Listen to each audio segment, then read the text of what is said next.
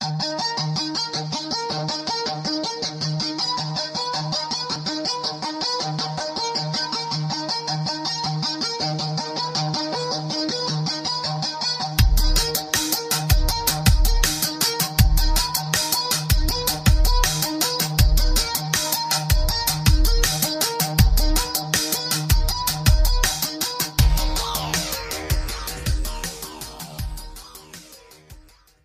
What's going on, everybody? Rich Butler here. Thank you for taking the time to download episode two of Toys and Tech of the Trade, your one stop shop for toys, tech, and talk with some assembly required.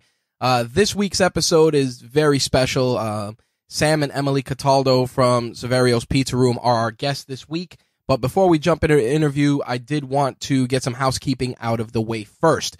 Um, I know we owed you guys an episode uh, two weeks ago, but I have a little one on the way, and that kind of throws things a little off, especially with all the doctor's visits and everything else. We weren't able to schedule interviews, but we will be covered for the next few episodes. In addition to our interview with Sam and Emily uh, dropping on this episode, we are also going inside Rageworks and talking to some of the members of our team and sharing the toys and tech of their trade. Uh, first up is going to be Jimbo Slice, who has been highly requested by many of you that are fans of the Rageworks network. Uh, Jimbo and I, of course, do the variant issue together, and um, he will be one of the first from the Rageworks team that will be stepping up to bat, followed by our very own Slick. Uh, he and I obviously work together on My Take Radio. Slick is our games editor and oversees the bulk of our video game content on the Rageworks site. So we're going to take a deep dive into the tech he uses and the toys that he's obsessing over. And of course, the other members of our team will be coming up Jay Santee, Matt Olsky, and of course, Josie's boy as well, plus a host of other different talents uh, from both the creative side with content creation, like what we do, plus a few others that are definitely a far departure. But those guys will be coming up in the coming weeks. Uh, with regards to the release schedule, as I said, we're going bi-weekly with Toys and Tech of the Trade with a release date every sat, you know, every other Saturday alongside some of our other weekly shows, including Call Me When It's Over, uh, Turnbuckle Tabloid, The Variant Issue, and many others. So keep an eye out for that every other Saturday on iTunes and also via the Rageworks Network, which you can find it on iTunes, Stitcher, TuneIn Radio, and Spotify, plus iHeartRadio as well. All right, that's going to cover the housekeeping for this episode. Let's toss it over to Sam and Emily and learn about the toys and tech of their trade. All right, I'm sitting here with Sam and Emily Cataldo from Saverio's Authentic Pizza out in Massapequa here in the beautiful state of New York. We're going to chop it up, find out what gear they use, what gadgets, what tech, um, they use to not only run their small business, but also give us some of the best pizza on Long Island. Uh, Sam and Emily, thank you for taking the time to speak with us. Thank Oh, you you're for having us. Thank you for having us. Um, you know, you guys have been in business since 1967. Uh, the pizzeria was an extension of A&S Pork Store. Um, let's start with that first. You know, give us a little background on how the, how the pizzeria spun off from the pork store. What got your family to even get into that business in the first place? Sure. The pork store opened in 1967. Like you said, my dad was an immigrant from Italy, um, came to the United States in 1960, worked with a gentleman named Mr. Anthony Chicatano, um, for many years prior to opening up the first A&S pork store on Long Island here in Massapequa. So it was the number four store in the chain of many. Three were in Brooklyn and this was the first on the island. It was store number four.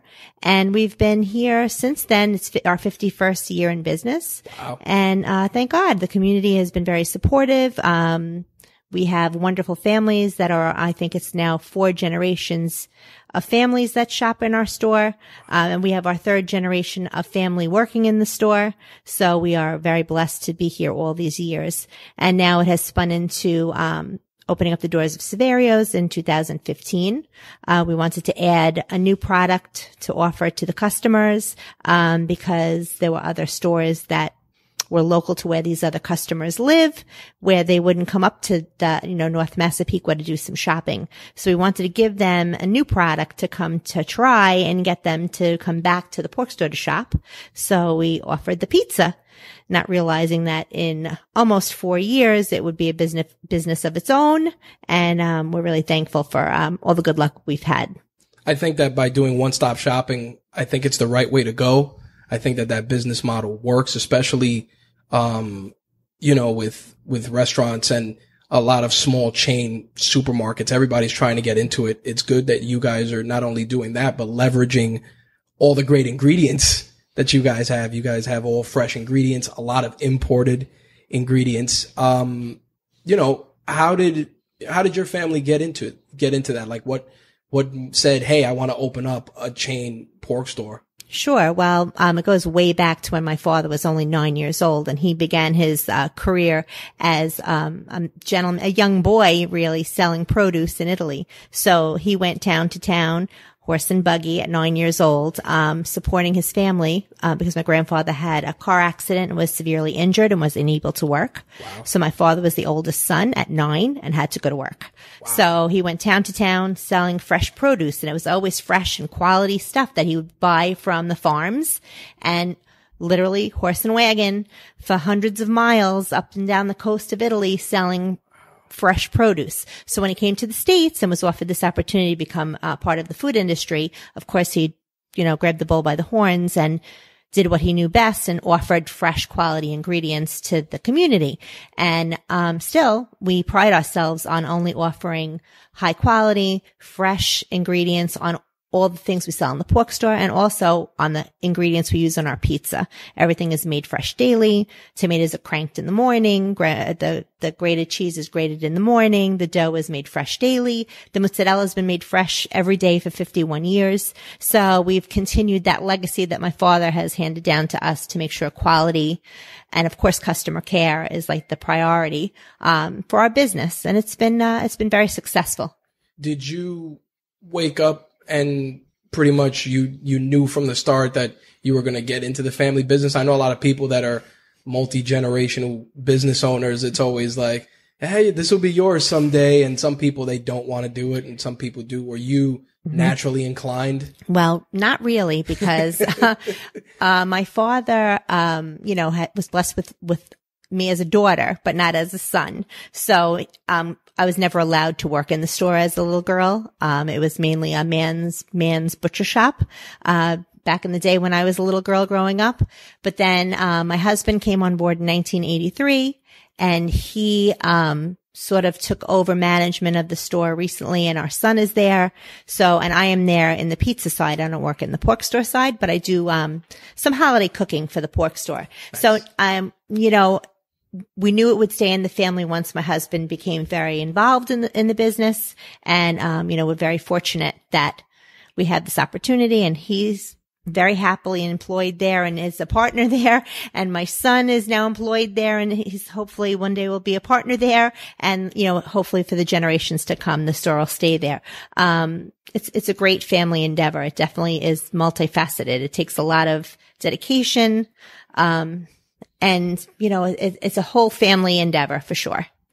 Um, I'm gonna toss it over to Sam. Were you always inclined to want to get into the food industry, or was it something where you being with Emily, it kind of just absorbed, it kind of, it kind of just pulled you in? Yeah, that's more like pulled me in. Because before I met Emily, I was uh, I used to work in in Manhattan in the uh, the old New York Coliseum.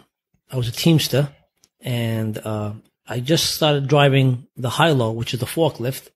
And then what happened over there was the summertime, it got slower.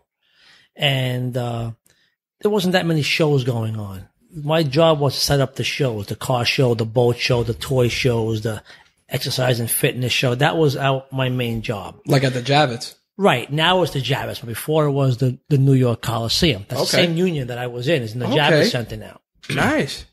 Yeah. Learn something new. yeah. So, so then, uh, I was dating Emily and her dad asked me one day, I was over there for dinner and he asked me if I wanted to come work at the store. I said, I have a job. I said, I don't know if I can you know, just leave my job and come work at the store, but I'll try because now the summertime, it gets slower. And, and fortunately, the pork store gets busier in the summer. So it could have used the help. And then, uh, once I tried it, I knew that was it. I never, I never went back to the, to the union and I, uh, been there since 1983. It's been 35 years this Wow. year. So I was, you know, while while doing research for this interview, I saw that you um that you you have to become a certified pizzaiolo. Right. So, you know, tell me a little bit about that because how does how do you get certified? How does that work? Well, Because that's that's that's I'll tell you the reason why I wanted to get certified was we went to Italy, my wife and I, with our family. We went to uh, Naples and we were with our family and we had pizza in this one restaurant that was in Italy's theater district. And our cousin Alfonso and Geraldina, they took us to this restaurant and the pizza was just fantastic. So I looked at my wife and I said, we have to do something like this at home. If we can do this at home, it'll be a home run. This pizza is amazing. So we came back from Italy, did a little research. I, it didn't work out the first year. I couldn't find anybody or really couldn't find the right person that I wanted to learn from, I should say. Then about two years later, or two, two and a half years later, a good friend of mine said, listen, I have somebody you can call. and, uh, his name was Roberto Caporuscio and he owns Don Antonio's Starita. It's on 50th Street and between 8th and 9th Avenue in Manhattan. oh, I know that place, and it and it's funny because while researching, I said, wait a minute, this place was on the Food Network, Yes, it was. and um, Geoffrey Zakarian from the Food Network was there. Yes. and they were talking about it. And when I saw that, I said, wait a minute. and I saw how it came full circle. So that's really awesome because Yeah. that place, you know, it's, you either have to be a foodie or you got to do your homework to know about that place because it's a hidden gem. It's, it's tremendous that, that you got, that you learned. Yeah, no. And Roberto took me on right away. A friend of mine actually made the, made the introduction for me to him. And, uh, then the, the best part of the whole thing was my daughter had gotten married on June 20th. That was supposed to be my last day of, of school. So of course I couldn't go to school that day because my daughter got married. So I spoke to the teacher and Roberto and he said, come, don't worry about it. Come back Monday and Tuesday and we'll finish. And when I went there, I think it was Monday or the Tuesday, Mr. Don Antonio himself from Italy was Mm-hmm. From in Naples. the restaurant from Naples Starita in Naples. Holy cow. he saw me making pizza and he came over to me next to the pizza bench I was actually making pizzas with me. And Wow. yeah, it was pretty cool. It was pretty I gotta cool. say, it was pretty cool. That's, That was like, it was a legend. yeah, that's, you that- know? you know, that's, that's like taking batting practice with Babe Ruth. Yeah, exactly. Exactly. you know? It was pretty good, you know? And then we went to Italy last summer and we went to Starita. We went, we visited my cousins in Naples and we met at Starita and we had pizza there. And it was really, um, awesome to have pizza there where he, um, was the man that actually started the, the whole process of uh, Neapolitan style pizza. That's, Yeah. that's so it was insane. really, really cool. So, you know, you were talking about all the fresh ingredients, milling the tomatoes. So what's, and, I, and I'll start with, with Emily first. What's, what's an average day for you?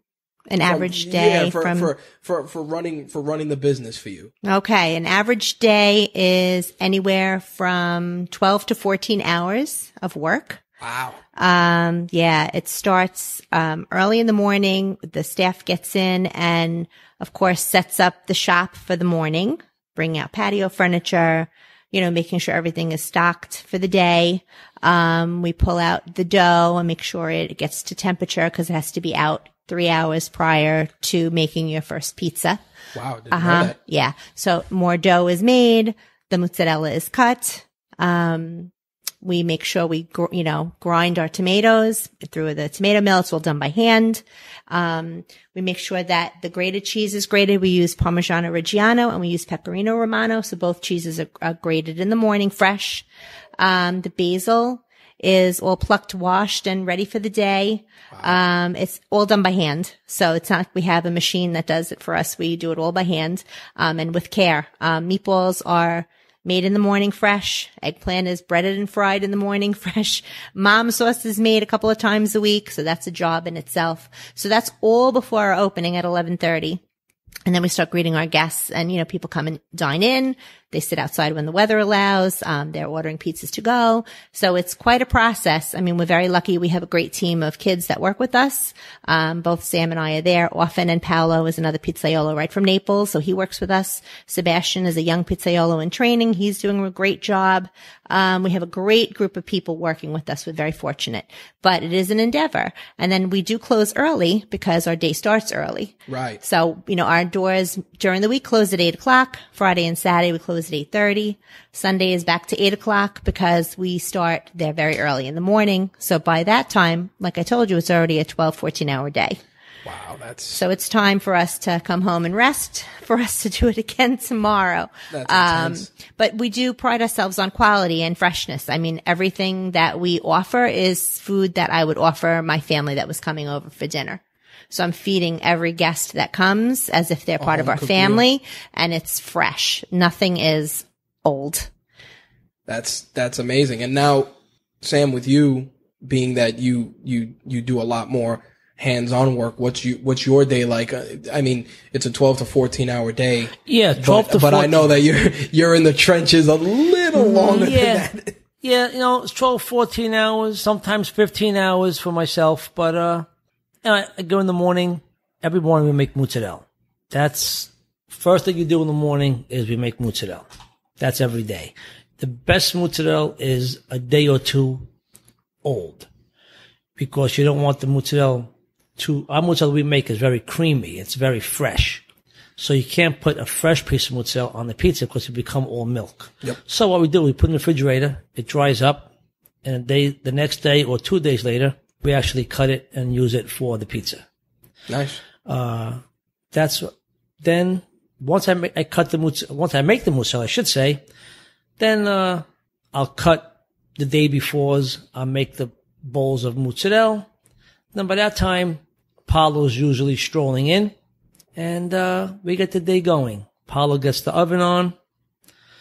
The oven takes about an hour to come to temperature. We cook our pizzas at 900 degrees. So the our oven weighs almost 6,000 pounds. So the oven's very well insulated. And it's imported also. I, Imported from Naples. Yes, it's a Mario Acunto oven. A little history about that was the Acunto family started making pizza ovens in the 1800s. So what happened was the two brothers, I think it was uh, uh, Salvatore, no, Mario, I'm sorry, and Gianni, they split up at two separate companies. We happened to buy a Mario Acunto oven, which is a very good oven, and so is a Gianni Acunto oven. They're both very good ovens, top quality ovens in Naples. Uh, our oven was shipped from Naples to my store. Uh, again, it was 5,900 pounds. So that oven usually cooks at about 850 to 900 degree pizzas. That's how hot the oven is. Overnight, the next morning, when we open up, the oven is still 550 degrees. Mm-hmm. You can make bread. It never really You could bake bread in the morning. cools down. So at that point, you can bake bread in the oven if you want. You could uh, cook other things in the oven. But uh, we cook our pizza, like I said, at 900 degrees, and uh, it takes the oven about an hour or 45 minutes to get the temperature because it's so hot already. And uh, then we I stock the we stock the wood. Like Emily said before, we we pluck all the basil and get the day going. Do you pick a particular wood, a slow burning, a rapid Yes, we burning? have we use two woods. We use I use oak and ash. Ash is more of a it's a faster burning wood and it's more of a flame. The oak is uh more dense and it's more for heat. Nice. Now, when when that oven was brought over, um, what did it, how long does does an oven like that take to be constructed within the you know within your because the way your store is laid out, it's almost built into the structure of the store. So Right. how did, how long did that take? Well, you see, we had everything built prior to the oven coming in. Right. Then we just we put it together after the oven came. It was built in pieces and sections. the counter was Right. built in in sections. Ah, the okay. oven came over in one piece. Holy cow. Yes, One It come piece. over in one piece. The oven, and it's brought into the store with a special forklift. Has to be a ten thousand pound rated forklift to bring the oven in. And uh, once the oven was put in place, it's uh, it takes ten days to cure the oven. What, what I mean by that is you have to warm up the oven slowly because you don't want the oven to crack. You see, the oven that we use is made with special bricks and special mortar. The mortar that they use is it's uh it's a lot of water in it because it's clay. And you, what you want to do is you want to dry the oven slowly. You don't want to put too much heat in the oven because the oven, the water inside of the bricks will start to boil. And if it expands, the gases are going to crack the stone. It's like when people make clay pots. Right. Exactly. Exactly. Got it. So the increments were by pound, pounds of wood. We had measured out pounds of wood and increments of pounds would raise the heat, the temperature gradually for 10 consecutive days. So we had to stay there. Couldn't miss a day. That's Yeah. a science in itself. It miss is. a We had, it came with a, a manual and we had to follow the manual every day. We had to turn the page and read how many pounds. We had to weigh it and put it in and every, when it would dry out, then you'd have to put more wood. Wow. Yeah. Yeah. So that took that that 10 must days. have affected it, you know, because like anything else, we you make a plan and you're like, oh, this is what we're this is what we're shooting for. We stood with it. We We- even we stuck with it. Emily and I even went there on. Uh, we went there on New Year's It Day. was New Year's Day. We Me were there. We went there. We had We New spent the Year's day. Eve at the house. I did my Mm-hmm. my uh, curing for New Year's Eve, and the next morning we had to be there. I think it was ten o'clock, And we were there. and we were there at ten o'clock in the morning. Her and I, and I made my uh, I made my fire. You start off with, like Emily said, you start with one pound of wood Mm-hmm. for about four days. And once you start the fire, the fire will, will dies down. After an hour and a half, it dies down. You got to start it again. Mm-hmm. You had to make four fires per day. Oh, you had wow. to make for 10 days straight. But, but we did it. It Did was it. fine. It was on top fun. of on top of doing everything On else. On top, top of of doing my it, on top of yes. the job, exactly. On top of my job, yes. And that's the you part know, he left out. And back in the those morning. days, I did, I did everything.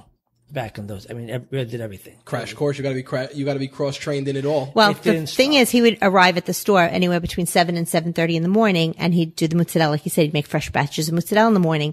But then, before he opened up the pizza place, before ten thirty, when he'd go over to the pizza side to get that ready, he already did three hours of work on the butcher shop.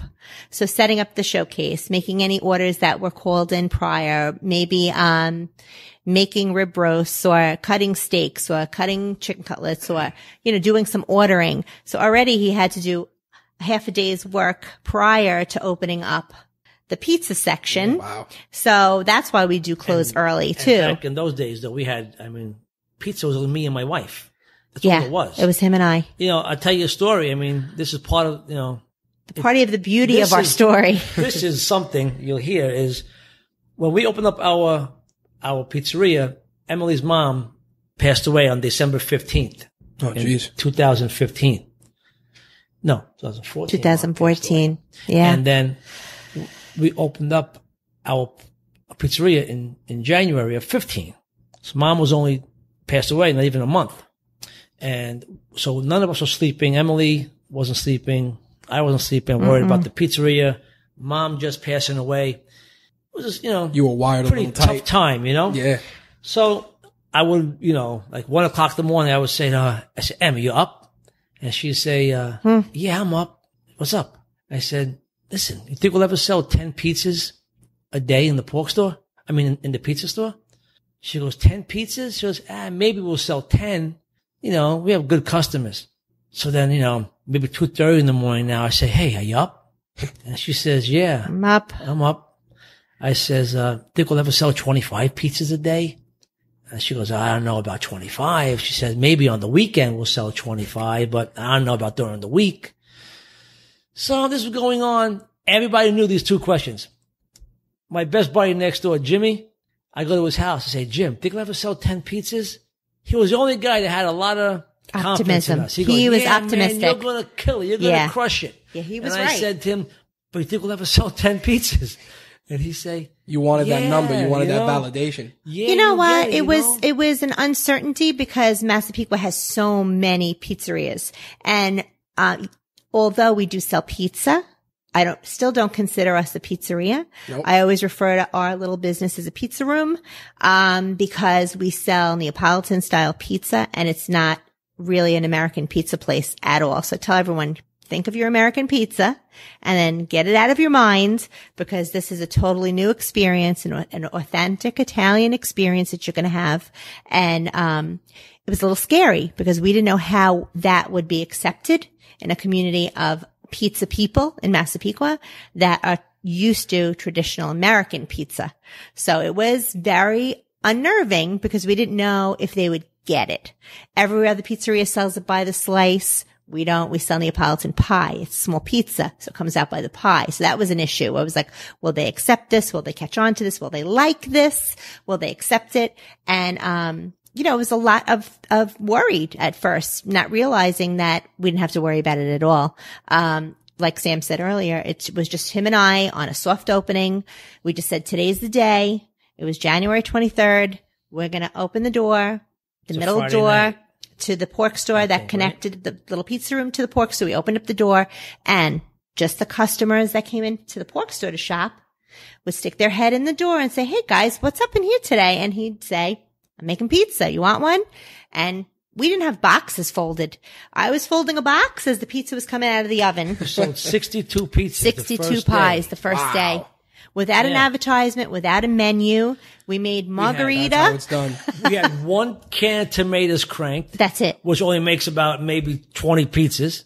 We had little mozzarella cut up. I was putting, like I told you before, you can't put hot mozzarella on pizza. Well, but I had that to. day we did, Because I 'cause had we no- didn't I know. ran out of mozzarella. We that I was had no idea to. what to expect. Yeah. So day one was great. So day two, we're all pumped because like, yes, everyone likes the pizza. Terrific. Day two, Just me and Emily. him and I, and we maybe cranked two bowls of tomatoes that day and maybe had a few boxes folded. Um, but we sold a hundred and Two. two pies Wow. on day two. And we looked at each other and said, Oh my God, We're on to something. what are we going to do? We need help because we can't do this alone. So we have a young girl came in. Her name was Christy. She was our first worker. Yeah. Really, really, Really nice sweet kid. She helped us out. She And jumped she right in. Comes in and she goes, "You need help?" We said, "Yes." Go in the back, grab an Grab an apron. apron. You're hired. Man. even- on the spot. absolutely. You're and we all learned together. The three of us learned You together. know, I knew good. nothing. She knew less. My wife knew less than that. So it's a good learning experience for us. Well, that that brings me to what you were saying before. You were saying that you're doing all the all the butcher, all the Mm-hmm. butchery, everything else. To that point, you nobody had taught you butchery either, right? Like you were learning. Yeah. with, with I actually, Yeah. my father-in-law taught me a lot. when Oh, okay. that. I didn't know nothing about That's it. that's what I was gonna say. I knew so you, nothing about so you butchering at became all. a full on. Not only did you become a pizzaiolo, but also a full on butcher, Absolutely. all in the same in the same in the same, uh, yeah, he learned how to make So mozzarella. you basically learned two trades in one shot. For the most part. Yeah. Yeah, Yeah. 35 years. Yep. Because think about it, if you if people become people become butchers, and that's a trade in itself. That's its a trade. Exactly. So so Right. you- Right. That's that's amazing. Yeah. Thank you. And, and there's a third man. part that he does that nobody really knows that he does, but he does all the pasta, ravioli, Oh, come on. all that. He does all the homemade pasta. He makes all the homemade mac- ravioli. That was all self-taught though. That nobody told me. Really? That I was self-taught. Yes, I uh, had a guy that used to uh, work with us, and uh, I went back there to to learn. I'm a very hands-on, very good learner. I really do. And uh, I went back there and I was watching this guy make ravioli, and uh, I just wrote everything down. Had it all memorized. And uh, when when I could, I would write the things down. How many eggs the guy put in? How much pounds of flour the guy used? And and I was like self-taught because what happened was I had issue with the guy. We had to we had to let them let the ravioli guy. We had to let him go. So then, who's gonna make ravioli? So I, I guess I'm up making ravioli. There you make go. ravioli, you know? Yeah. And, uh, but till today, I, I do everything in the store. And the, most thing I do that nobody knows about, I'm the mechanic.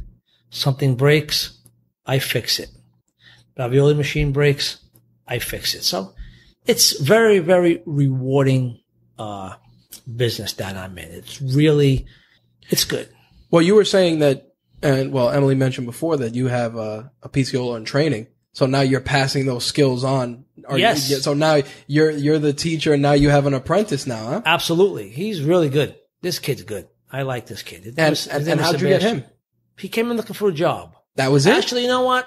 We had a our one of our good our our head server. His name was Joe T, and uh, Joe T was with us for a while, and Joe T was leaving. He had to go back to school. I said, "What do you mean you're going to school? Like, you know, This is mean? school. This What do you kid is Joe T was he's amazing. This guy, I love this kid, and uh, so he actually said, "I have a friend that wants to work," and it was Sebastian, and uh, that's it. But Sebastian was he knew a lot more than I thought he would. He Did knew his homework, huh? he knew some, you know, he knew how to make pizza. Never my style pizza, but he made American pizza before. I mean, just had to show him, you know, our way. I mean, he caught on really quick, the kid, and the kid's a He does a good job. Big help. It's He big does a good job. He's a hard worker. He's a nice boy. family is a good family, good good people, and uh, you know what? Everyone that works in the place. I have, I have Joe Bronco that works with me. He's our second person we ever Employee. hired, and he's still there. Yeah. Wow. And Gio, And you have Gio, a bunch Yeah, of girls that are waitresses that with me. It's, it's all good. My daughter-in-law, Jamie, my my son's wife, she works with us on Fridays. Nice. So it's a So you keep it in the family. Yeah. But you Try. also give people opportunities. Also. You know, Absolutely. You, try to pay. You try to pass those skills on. absolutely, you know, because uh, you know, me, Seb, and my son, I could see us uh doing some stuff in the future together. All three of us, you know, we're gonna try to do more than one place. Nice. Now, you know, Emily was talking about, you know, the business growing, you guys bringing people in. You also had to learn the business end quick, keeping the books, doing, you know, all, you basically had to learn human resources on the fly too, right? You know what? Our, um, our philosophy is it's basic. I mean, it's not like, um, we're using We have- computers. We have, no POS system. I Really? no, Oh, no. none. That- that was I am like, an how do guys- old fashioned paper and pen type of girl. keeping the books. I the, the right way. I like don't want to depend on a computer. Okay. I like to have papers and pens and a file system, binders, whatever. I file everything. I could flip a page and know exactly how many pies we sold on that day. Um, it, it's just um, old, old, old school. I, I like it better than um, a lot of the technology stuff. Like we still use um, an order notepad with with the waitress will come over Right. and take your order with a pen and a paper, a pen and a pa- pencil, paper and a pencil. Sorry, It's all right. um, and uh, it's it's just old school, and that's what works for us. Well, you know, it, it, it's it's funny because you know one of the, one of the things we do on the show is talk about the the the tech and and the toys that go into Mm-hmm. running your business and the fun. You know, it's not every day that you hear that it's a completely analog business Mm-hmm. that's been in business for this long Right. and everything is kept meticulous. I mean, I've been in the store and everything is, is by the numbers and it's, it amazes me just hearing that. I here I'm thinking, oh, you know, maybe they just put everything in QuickBooks or something behind the scenes. Everything is in a, Yeah. wow. Everything's by hand on paper. That's Yeah. tremendous. Yep. And, Yep. and you've never, and you've never said, eh, I should, I should digitize this stuff. Like you prefer just keeping it that I way. we're going to need a POS system eventually. Don't get me wrong. Uh, Right. We're definitely going to need one.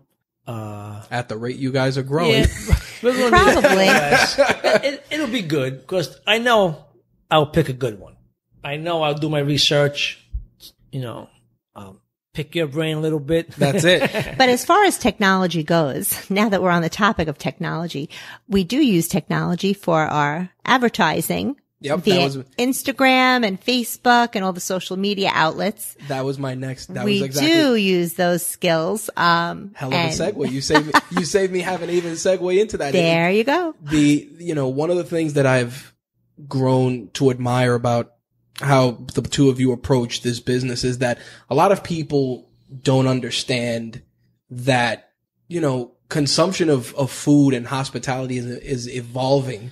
It's not oh, let me put a, a an announcement in the penny saver and an ad in the newsday and, mm-hmm. you know, a, a, a placard outside. Like there's more to it. And as mm-hmm. much as we are connected now, that plays a huge part. I mean, you know, every time someone goes to your establishment, hell, I've been guilty of it. You know, you snap a picture of that mm-hmm. pizza. Hey, where's this? Oh, it's here. And, you know, oh, you tag the photo, you, you put the geolocation next to, you know, someone wanders in. I think that that's a, that's the art form that still a lot of businesses aren't comprehending that that's where it's going.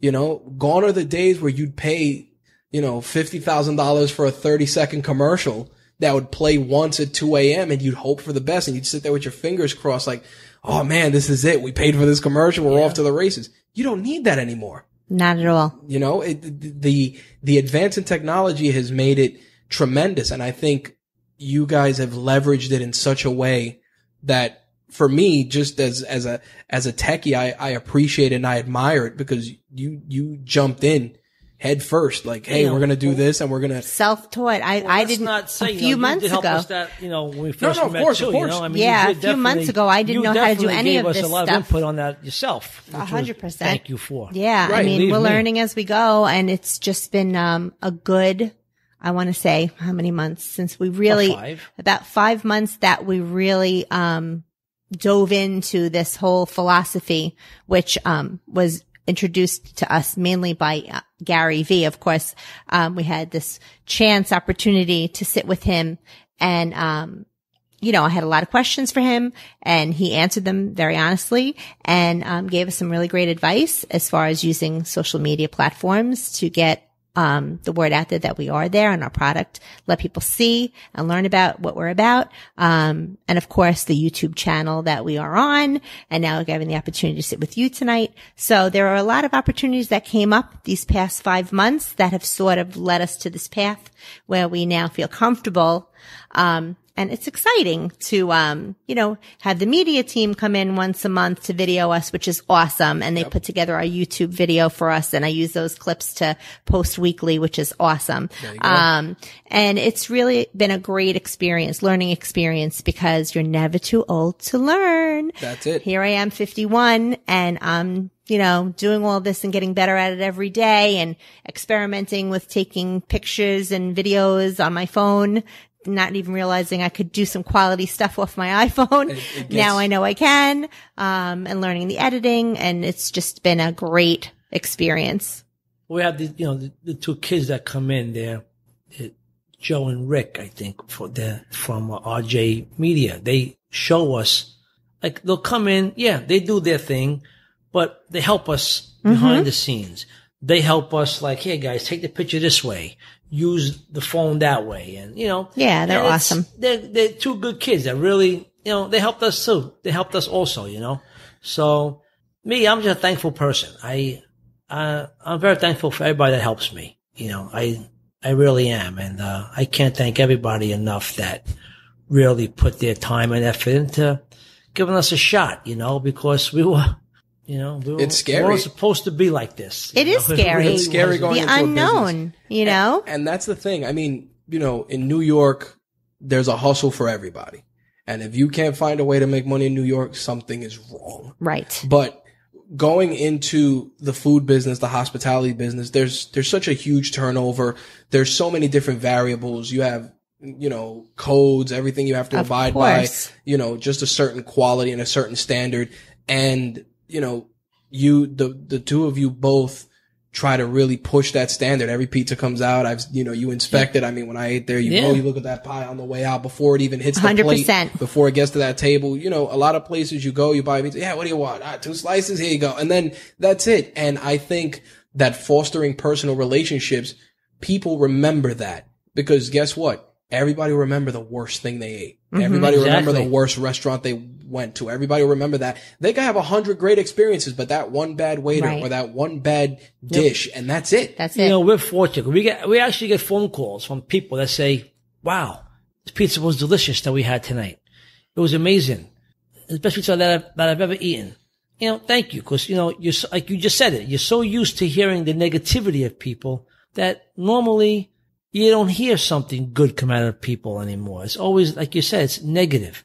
And we actually get quite a few So many. phone calls back. People take the pizza out, or as they're even the eating there, and they go, "Wow, this is the best pizza that Mm-hmm. I've eaten in a long time." Or we just came from Italy. This pizza tastes just like the pizza that I had in Italy, and it's a great feeling. And it a hell makes of an something, endorsement. you know. It is. I mean, people take the time, which is very humbling to me, um, that they take the time to really write reviews because we never did that. Like we've eaten in millions of restaurants and we've, you know, never think to like leave a review until we found out what Yelp was.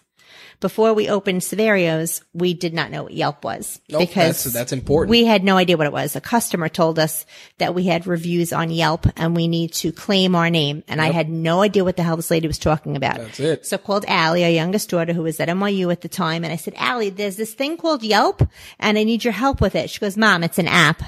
I said, okay. I said, well, when you come home, I need your help with this because I have to claim my name and I don't know what that means. She goes, okay, I'll come home. So she came home and she helped us claim our name and establish a business Yelp account where I could respond To the reviews. to all the reviews. And I do. Every single review we've had so far has a response by me. that is super important and that's something that so many businesses and if that's one piece of wisdom people can take out of this respond, to your reviews Yeah. Yes. Good have- and bad we because have- that and shows I do. I respond. And luckily, we have very few negatives. And I don't even think there are any. Maybe there was one person that was not pleased. Well, you can't please Um, You can't please too. everyone. You know that. But we have a five star rating on Yelp, which everybody that comes in tells me is unheard of.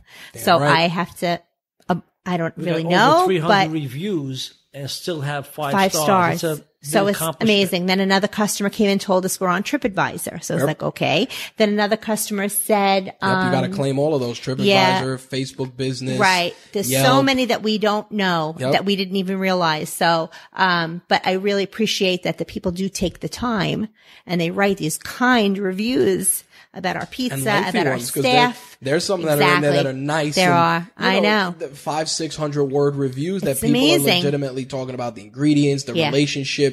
You know, uh, if, if Sam is working, oh, you know, the owner incredibly humble, nice, you know, amazing food. I think that you know one of the one of the big factors that makes your food so good is the fact that the two of you love doing it.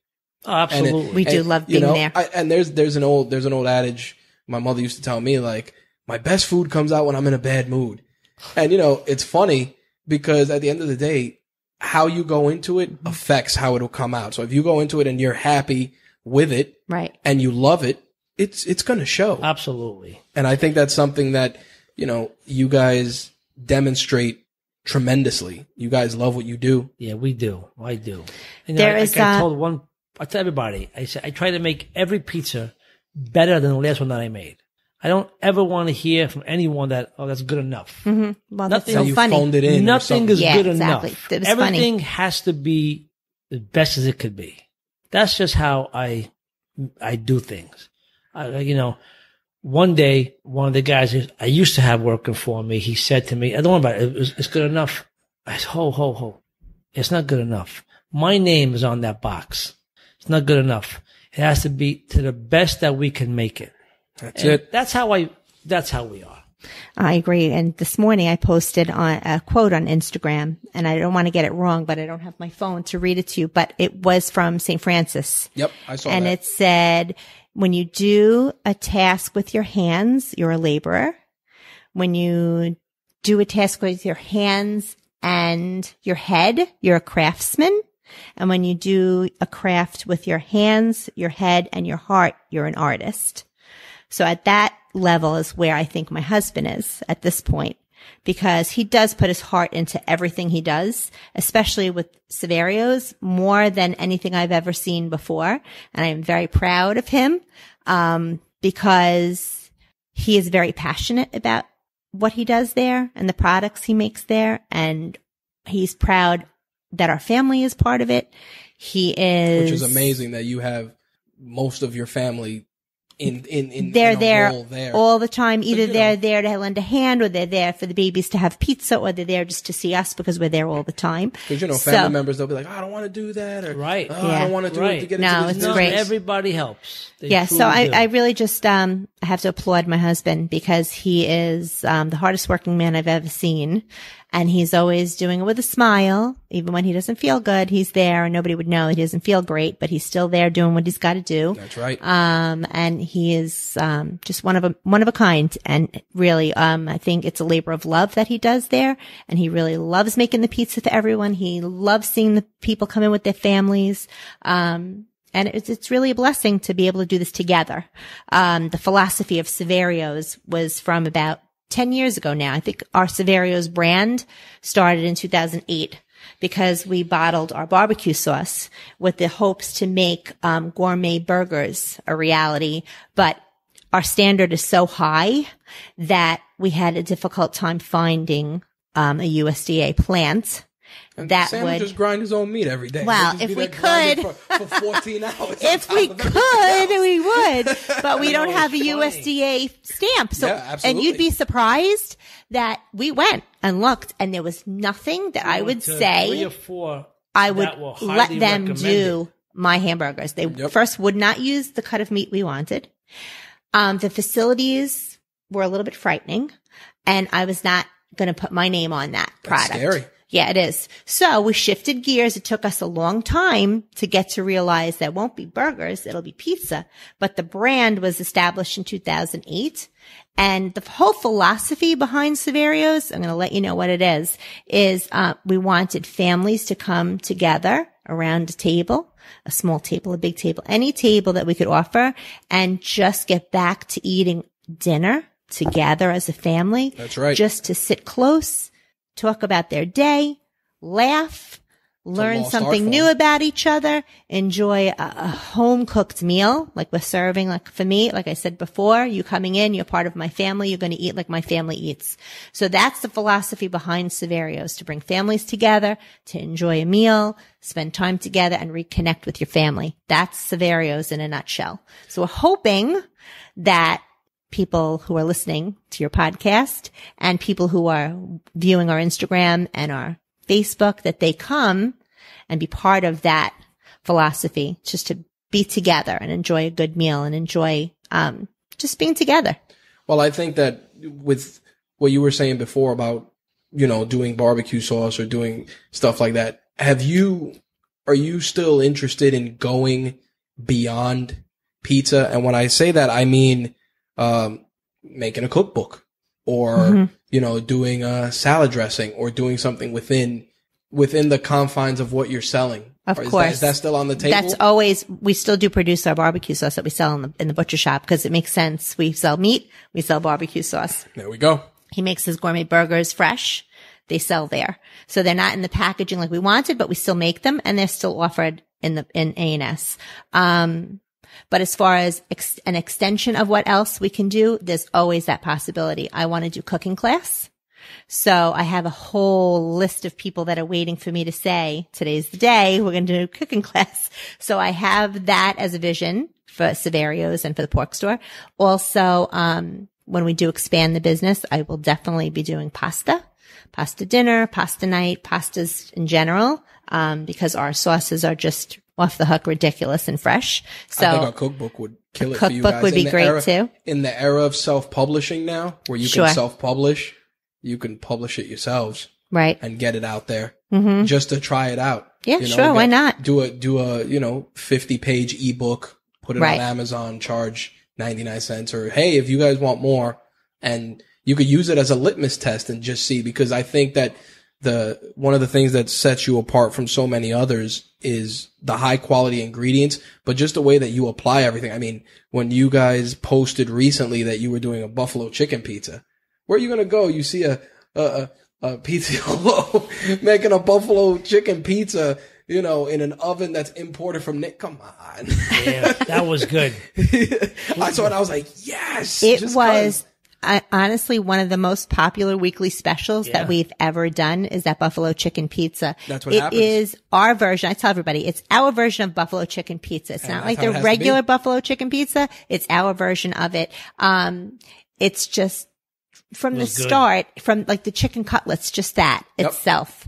They're delicious, just freshly breaded and fried. It's not like it's an old chicken cutlet that we have left over that we're throwing on a pizza. No, Nope. they're all made fresh, perfect that morning and diced up by hand and then dressed with the buffalo, buffalo sauce that he created. And it's just, um, it's really something. And of course, with our homemade mozzarella as the base, you can't go wrong with that. Nope, absolutely So. I saw it and I uh, was like, wow, that's that's tremendous. And like I said, I looked at it from that that deeper perspective where I said, listen, you got you got all these imported ingredients and it's being put into buffalo chicken. You know, like you're putting it, was into good. like you're putting it into It bar really food, you know? Like and when you look at it, you say to yourself, Really? And I saw it in my draw. I was like, yes, because what happens is when you do something like that and, and you flex those creative muscles, people go, oh, It just brings well, it I to know a I can different go there level. and I can get, Yeah. you know, a couple of buffalo pies. You know that that But this week's secret is we're having a, a barbecue chicken pizza this week. There we go. And, uh,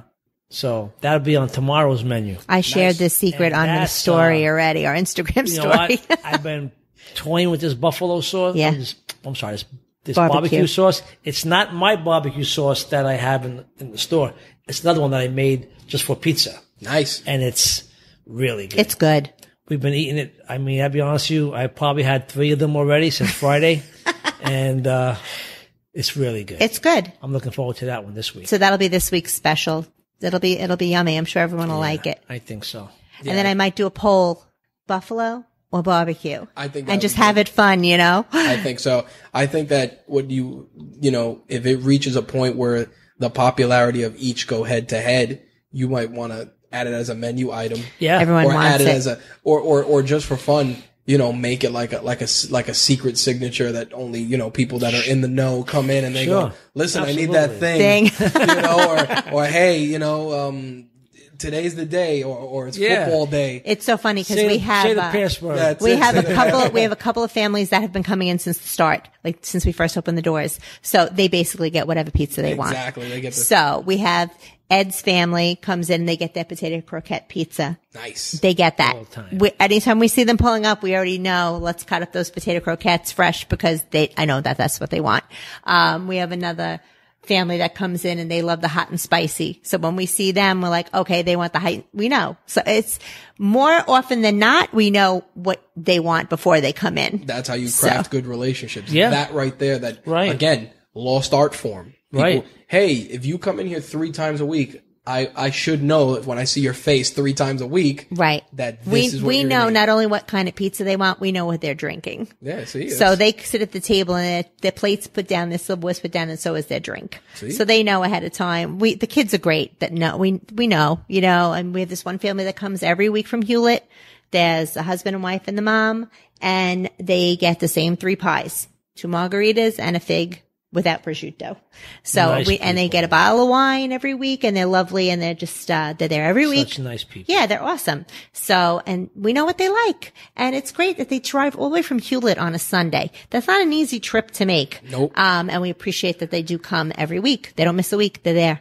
So we look forward to them. Uh, it's pretty awesome. We have, um, customers that become friends, you know, I mean, we've had them join us here for barbecues because we had, uh, the Saverio's kids for a summer barbecue. Every year we have a summer barbecue for the staff and we invited our friend Jim, who's like part of the extended family. So we invited him to come and join us and he's, he's super. So he's Jim the shot guy. He makes all these different shots and brings us jello shots and he's just super. He made us zucchini bread and, you know, he's just, he's awesome. So Nice he's a great guy. So we, you know, we're, we're very, very lucky with all the people that come in.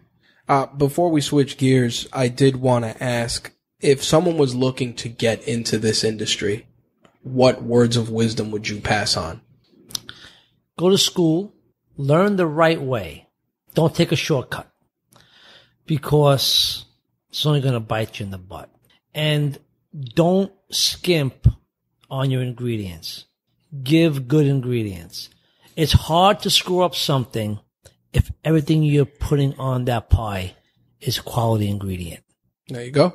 I, I can agree with that. you I would say my one piece of advice would be the advice that my father's given us our whole life is to, um, stand by your product. Like stand by what you're making. Make sure it's the best that you could possibly make it and, um, offer it to everyone always and with a, a smile and, um, just stand by your product. And if God forbid there is an issue, you, you own it. You know, things happen. Yeah. You know, it's, it's, it's, it's a fine line by, uh, especially with this wood burning oven that we have. It's a fine line between crisp and burnt. Like people come in, they want it well done. So we're like, okay, but I don't offer anything. Heads up. Right. I don't Right. offer anything burnt. It's only 15 seconds That's from it. well done right. to burn. But That's for me. I won't. If a pie needs to be remade, it's remade. If it's too well done for me, I'm not serving it. Right. But some people ask for it well done. So I sometimes have to, they're like, no, they want it like one, we got one kid that comes every, Burn victim. burn it. One oh my kid God. comes in every week, and excuse my language, he goes to me, he goes, "Hey, Margherita, burn that shit." yeah. That's what I tell him. He you. wants it like He goes, "Burn blackened that shit." burnt. and then you bring it out to him, and he goes, "Wow, that's sexy." Yeah. That's crazy. and he's literally at our, And he goes, almost "That's every sexy." day, if not every other day, he's having pizza. And God bless him, he's a sweetheart. And when he but he he goes, wants it "I'll burnt. see you in a few hours." See you in a few hours. I'll see you tomorrow. That's crazy. It's facts. It's the truth. And it's, um, but you know, that would be my advice is stand behind your product. A hundred percent stand behind it. Um, you know, give a quality, quality, he said quality ingredients, a quality product and stand behind it 100%. Like, Nice. you know, an old man said something to me one time, you know, it sticks in your mind, certain things. He goes, no, if you enjoy what you do, you never work a day in your life. And you know Absolutely. something? It's so true. You'll never see me complain. I don't complain. I don't say, oh my God, or I have to go to work tomorrow. Nope. Never happen. Because it's fun, and that's I what. It, enjoy doing what I do. well, the, the next part of, uh, of the show we like to do, we call it the hot seat. We just little rapid fire questions. All right. Okay. Um, you know, I given given that you know I was going to interview you guys, I made some adjustments. so, um, what's your favorite place to eat that's not your own establishment? Mine, Yep. Campagnolas in Manhattan. Okay. And Emily. He stole mine, but I'll have to say still in Manhattan, uh, Mr. Chow, Chinese food. Okay. And with that said, what's the best meal you've ever had? Oh, I know where mine is. I'm going first. The best meal we ever ate was at Castello del Nero. Oh, you just stole mine. That's okay. In Tuscany. It was a Michelin star restaurant, La Torre restaurant in Castel de Nero Resort and Spa. It was the best meal we ever ate, hands down from start to finish. And one day we will go back and have that meal again. Fantastic service, atmosphere. The food was just beyond all in Tuscany. Nice. Now you want me to go. Yeah, of course. She stole mine, okay? Well, we have another I'm one. gonna say another one. I know which one you're Il going to say. Mulino. That was- that's Okay. the other one. Il Mulino, I think it was in the Taj Mahal, Uh huh. in Trump AC. Taj Mahal in Atlantic City. Wow. We went there, my wife and I, and we had dinner. And uh, Il Mulino is a very good. There's a, I think there was two or three of them, I believe. And the one that we ate in, in Taj Mahal, That was we a had great, great meal. That was a wonderful meal. Nice. All right. Now we'll simplify it a little bit. What's your comfort food of choice? We both have the same one. What do you eat? Go ahead. You go first. Well, our go-to thing to eat is ice cream. Yeah. 100% ice cream. Butter crunch from Friendly's. nice. Okay. You? Yes, butter crunch or butter pecan ice cream. Nice. That's Yes, that's, that's a hell of a comfort thing. food. Huh? That is my our thing. Ice and cream. even my granddaughter, Giabella. She loves ice cream too. Nice. Now, I'm uh, people are always gonna. Well, I'm sure someone's gonna ask this, so I beat them to the punch. What makes a perfect meatball? Okay, well, that's all, that's all me.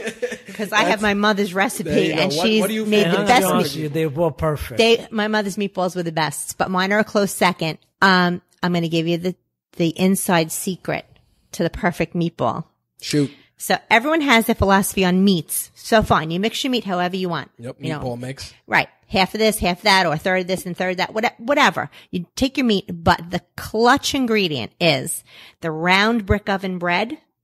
Cut it in half, scoop out all the inside, the white part Yep. of it, soak it in water, and then squeeze it out. Nice. It's not milk. It's just warm water, warm water and then cold water, whatever water, and just put it in your meatballs. I put a ton of cheese.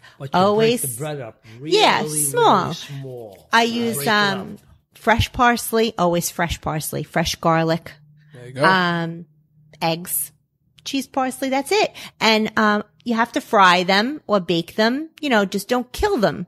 They don't have to be like fried.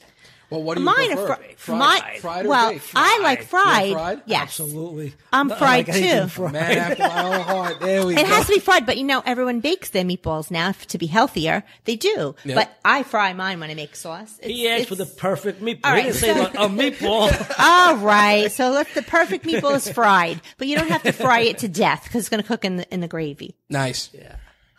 Okay. What's something that you've purchased recently that's less than a hundred dollars that has made your life either easier or just more enjoyable? Oh boy, Less, Less than a than hundred. $100. Less than a hundred Has bucks. pertaining to work. Anything, whatever, whatever. What's something that you just bought less than a hundred bucks? They were just like, ah, Okay, this, this this was worth buying. okay. This was Do you really want to know what I bought that was less than a hundred dollars? Shoot. I bought a pair of Crocs. Really? They were, I think, 35 bucks. They are the best sandals I've ever bought. I wear them to work. They're my work sandals. Listen, if it works for Mario Batali, it works for you. You know, I didn't even think of, I didn't even think of that, but I just bought them by chance and I said, Oh my God, they're so comfortable. They're amazing. So I wear them to work. But now that the winter's rolling, I have to find a good pair of like winter footwear. Um, My wife might likes see. Minnetonka moccasins. Okay. Very nice. Very They're nice. furry inside. She loves But can I wear them to work? They might be a mess with the flour. yeah, That's well, why I like the have a beater Crocs. That's why I like the Crocs because they're plastic. I could rinse them off. That's it. But they were the best, less than a hundred dollar purchase I bought that made me very, very happy. And my feet too. What about you? What'd you buy? But you're, I know, well, You it was know, more than a hundred Yeah, dollars. one hundred dollars. It was, uh, but if I would say I bought something less than hundred dollars, because usually I don't spend less than hundred dollars for some reason. Everything, but, Everything costs more. I, Yeah. I, I, I'm with you, but, there's got to be. I want to say my smart switches that I installed myself Ah, in my house. Those are those are very nice. I saw those when I walked in. Yeah, Very cool. They're smart switches. They are cool. Nice. All I say is Alexa, Yep. Alexa, good night. And now we're sitting in the dark. There we go. that you, you know, my my wife. I bought I bought an Alexa, and I said, she goes, I don't know why you're buying this thing. I don't get why why we need this. Uh oh. Hold on. It took it took a week, and I hear her, Alexa, what's the weather for tomorrow? Yeah. Alexa. There you go. Oh, good grief. Ah, it's We're okay. use the switches. There you go. Alexa's being stubborn tonight. No, but but it's it's funny because when I did that and I bought it, she's like, I don't get it, but because that's how it goes. And then now I hear her, "What's the weather?" Set an alarm. Yeah, do it- this. we do did that. the alarm for the first time a It couple of was weeks funny ago. because uh, Emily goes, "Oh, we're going to put these switches in. What are you going to do with those switches?" You'll So see. I really enjoyed it. I put them in myself. Yeah, they're really I, uh, cool. I enjoyed it. That's Those are uh, Lutron switches, right? Yes, they are. very cool. Because I'm sure I'm sure someone's gonna ask. Now, I know, you know, this is an easy one. I've gone I've gone to your establishment. There's always nice music playing in the background. What do you listen to when you work? When I work, Yeah, like what's I playing? like- what's your what's the soundtrack to your work day? my favorite song, my favorite music, or what's playing in the store. Uh, Let me ask you either, that question. Either, either or. My favorite music is classic disco music. Okay.